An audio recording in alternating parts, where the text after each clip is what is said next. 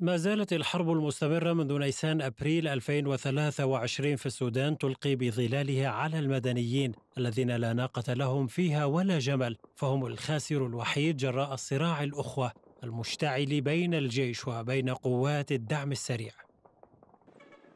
عشرات الآلاف فروا من مدينة الفاشر عاصمة شمال دارفور نحو بلدة طويلة على بعد 70 كيلومترا في ظل نقص كبير في الطعام إلى جانب عدم توفر رعاية طبية مناسبة.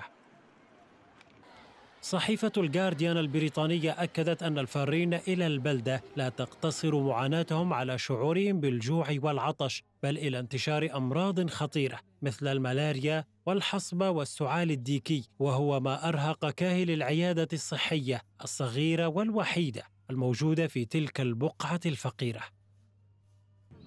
المسؤولة عن الصحة في الإدارة المدنية التي تدير بلدة طويلة عائشة يعقوب قالت إن هناك ما لا يقل عن عشرة أطفال يموتون من الجوع كل يوم مع توقعها بأن عدد الأطفال الذين يموتون من الجوع أعلى بكثير إذ يعيش العديد من النازحين من الفاشر بعيدا عن المركز الطبي وغير قادرين على الوصول إليها.